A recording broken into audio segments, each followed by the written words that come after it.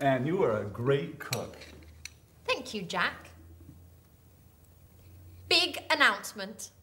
Finally, I have all the points and I can get that marvelous set of Chinese plates. What?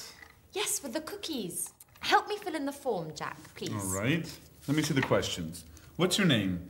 Are you joking? okay, okay. A N N E. And what's your family name? Um, my surname? Yes. Right, uh, Baxter. B A X T E R. And what's your phone number? It's um, 0454 Uh huh. 786 2097. 0454 788 2097. No, it's 0454 786 2097. Right. You have to remember, this is your telephone number too. You're right. Are you married? No, I'm single. What, a pretty girl like you is still single? Stop it, Jack, please.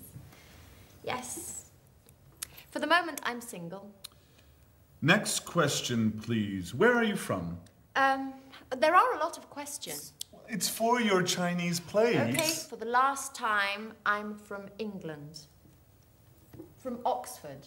A X F O R D. No. O X F O R D. Just joking. That's okay. What's next? Just two more questions. The address is. 45 Trinity Lane, Flat C. What's the postcode? EC1 4RN. EC14RN. And what's your job? I'm an employee in a publishing company. Oh, well, you're just the right person for me. I have a great love story to write.